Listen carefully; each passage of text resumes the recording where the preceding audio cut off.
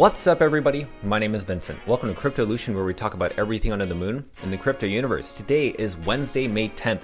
In today's video, we're going to be talking about the prospects of Bitcoin NFTs going mainstream and why in this video it's really important to learn how to buy a Bitcoin NFT.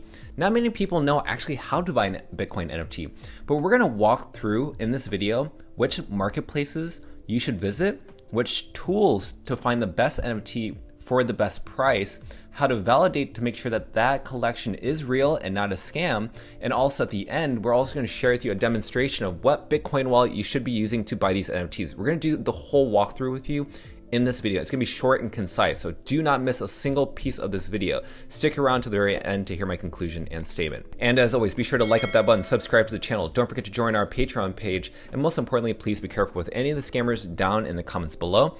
I will never reach out via WhatsApp, Telegram, direct messaging, or email, so please be careful and invest safely. So, guys and girls, let's get right into it. So, right now, there are two marketplaces I'm to share with you that are on my radar that I find to be the best listed collections for Bitcoin NFTs. The first one is Gamma, also known as gamma.io, which is the URL address. Now, gamma.io is a great place to buy ordinal NFTs, Bitcoin ordinal NFTs. The reason I said that twice is because there's two different type of NFTs. There's ordinals and then there's stacks. Why are these different? Right now, people are more flocking towards the ordinals, Bitcoin ordinals. And right now, Stacks is something completely separate. So, Stacks is actually a layer 2 solution that's been built on the Bitcoin blockchain. And so, there are other collections there, but again, you would actually have to have stack tokens to buy that. For me, I want to stick with Bitcoin ordinals because you're spending Bitcoin in order to receive Bitcoin NFTs rather than buying stacked tokens to buy Bitcoin NFTs. So to me, I think the longevity is around ordinals. And also, let's go to another marketplace, and that is Magic Eden. Now, on the top, you're going to see that there's four chains. There's Solana blockchain, Ethereum, Polygon, and Bitcoin. You want to make sure to click on Bitcoin. You can find all the collections here. But I'm going to share with you why Bitcoin NFTs are on the market right now and why they're actually in the mainstream media and catching attention. So if we go to this next slide, this is from TO. Now this was posted recently around Michael Saylor, who is a major Bitcoin maxi. All he cares about is Bitcoin. He does not care about Ethereum. He does not care about Solana or any other token. He has billions of dollars and also VC's money into Bitcoin. So lately, he actually was asked on a podcast regarding his thoughts around BRC20 tokens. So, if you don't know what that is, basically, people can create tokens within the Bitcoin blockchain. And nobody really thought about that. Michael Saylor has always considered Bitcoin a store of value.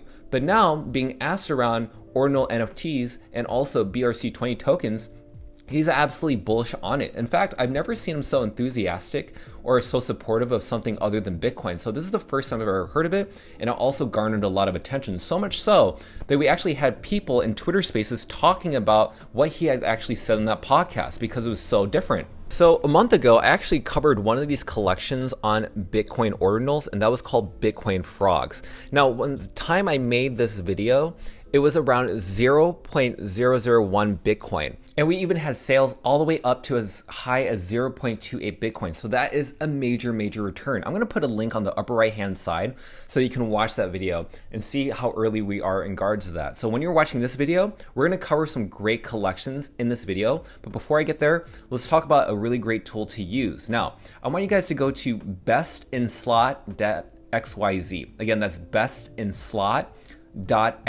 which is the URL header. And when you find that website, you'll see here the best ways to find collections. So what are the ways that I learned how to find the best collections?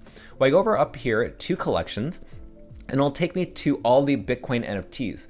But what I want to find here is a collection that has a big market cap. Why is that important? Because this will allow me to see how much Bitcoin has been traded with these collections. And because these collections have a high market cap, that means there's a lot of trading volume. That means that these collections have been around either for a long time or they've been around for a short time and they've had major, major buy-in orders. That means it's really popular. So say for instance, right down below, you can see that Bitcoin Frogs has a total trading volume of around 357 Bitcoin. Guys, Bitcoin right now is a lot of money, so you got to consider that that could be a really promising project right there. Now, there are a ton of other collections, but I want to cover some of the top collections I look out for. And before we do that, when you look out for your top collections, make sure to go back on Gamma and look up that actual collection. Make sure that it actually has a check mark right next to it because a check mark helps validate that collection is legit, is been established, and probably the founders are a little bit more well known. So let's look at the top collections that I have on my radar that have a good cost of entry that used to be like Bitcoin frogs. Now, let's go ahead and go to the first one, and that is Finny. Now, Finny right now is trading around 0.02 Bitcoin. Only 420 of these NFTs are listed right now on Gamma, and only 14 are listed for sale on the market floor. And this is considered the first comic book on Bitcoin. The artwork is really nice. It's a PFP artwork, it faces to the right, plus they're very unique in their own traits. What else is there? There's also the Honey Badger. Now, the Honey Badger is a lot cheaper, 0.002 Bitcoin, almost similar to Bitcoin Frogs.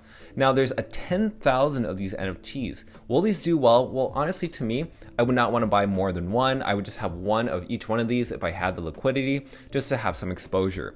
And also, let's go ahead and talk about the next one, which is right click inscribe. Another check mark here. But what's really cool about this this is a limited supply, around 40, only 40 of these NFTs on the floor. Now, the cost of entry, 0.006 Bitcoin, only 16 listed for sale. But again, keep in mind that if you buy into a collection like this, there's not going to be a lot of massive trading volume unless they boost the price up of these NFTs or someone really like a celebrity or somebody like promotes this, maybe an influencer, it makes it really popular. But right now, they're really low cost, but there is a very limited supply, so do not expect a lot of trading volume with this collection.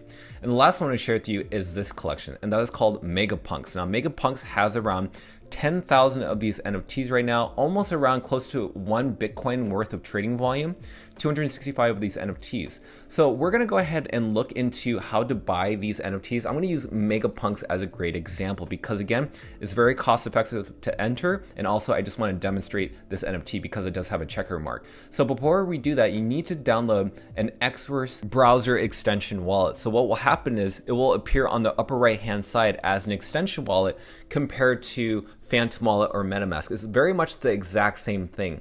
So what happens is when you actually have this downloaded on the upper right hand side on your browser extension, then what you're going to do is you're going to buy Bitcoin either on Coinbase, KuCoin, or whatever exchange you use and you're make you're going to make sure to click on receive and you're going to make sure to copy that address which is the bitcoin address because there are two different addresses there's one for bitcoin and then there's one for ordinal nfts so basically if I were to send you Bitcoin, which is the actual Bitcoin money or the cryptocurrency, I would send it to this address. But if I want to send you a Bitcoin NFT, then I would send it to your Bitcoin ordinals address, which is completely separate. So let's go ahead and demonstrate how to buy a Bitcoin NFT. So right now I'm already on the website. I've already logged into my account on the upper right hand side. Since this is a pre-recorded video, I'm gonna walk through with you on this. I'm gonna click on the buy now button and I'm gonna make sure to check my wallet to make sure my funds are in there. And as you can see, I have around $196, around 0.007 Bitcoin. So now it's gonna ask me to sign up set up a transaction, I'm going to confirm it. Then I'm going to sign the purchase transaction. I'm going to confirm it, and then I'm going to complete the purchase. Once that happens, this will pop up and you're very curious, if you're not sure if that transaction went through, make sure to check your wallet again and make sure that the Bitcoin was sent. And so when you click on the sending button right here, you can click on that link and it'll take you here. Once it takes you here, you want to check on the left hand side. That's going to be your address. That's going to be where your address should be considered the receive. So if I bought it, you should have that receipt right there saying that you now have had that Bitcoin NFT transferred to your wallet. And it's simple as that. So overall, that is how you buy Bitcoin NFTs. You can do it on Magic Eden, you can do it on gamma.io. But regardless, you just need to know that when you do buy a Bitcoin NFT, it does take a little bit longer than buying an NFT on Ethereum or Solana. For me, when I bought that recent NFT, it literally took around an hour for it to fully show up in my wallet, to fully show up in my account. And that's basically it. So it does take a little bit of time because, again, Bitcoin's blockchain is congested right now because a ton of people are either inscribing, which is another way of saying creating things like BRC20 tokens or NFT collections. So there's very little validators to validate a transaction as fast compared to Solana or Ethereum. So keep that in mind. So let me know down in the comments below which Bitcoin NFT collections you're very bullish on, and also some that we haven't covered on this channel.